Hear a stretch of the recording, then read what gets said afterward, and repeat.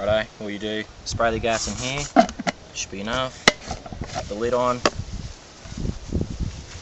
aim and shoot.